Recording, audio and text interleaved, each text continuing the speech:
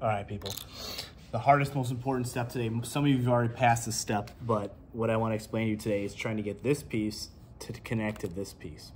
So the first thing you need to do is remove all the pins on both sides, which I've already taken the pins out on this side already, just to speed it up.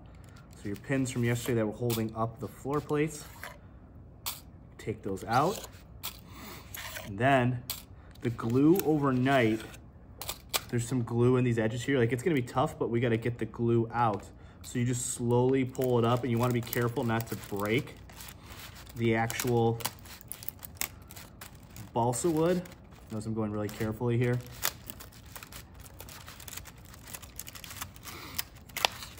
Pushing it down.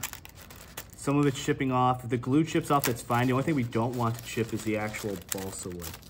So when I do this, I'm pulling it up, pulling the wax paper off, and it's okay if the wax paper is ripping because we can just, if you need more, I can always get more on there. Then,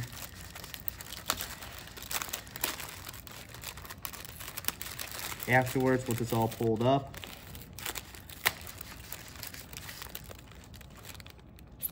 got some pins still left. I've finished pulling the pins on this side. And then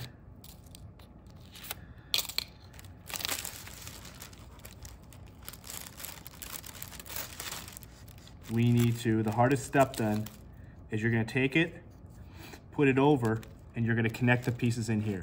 Noticing that the bottom, the floor plate matches up in here, and then we're gonna adjust the notches. If it doesn't fit nicely, what we're gonna do is you're just gonna take these small pieces on here and just you might need to move them around. Like these wooden pieces, you might need to break them off and just move them. But notice on the notches here, the notches really need to match and be flush in with the balsa wood. So like this one now, I've moved it so it's in there. And then we're going to then, once they're all in there and they're flush, you then just glue the sides in there. But you gotta make sure like these pieces being glued in here, I wouldn't recommend doing that because you have to alter it right now. You're gonna have to move those, break those off, and then move them around but make sure then these notches are fitting in there with it.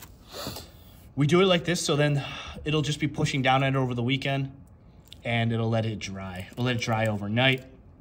You can finish it, yes. Good luck, everyone.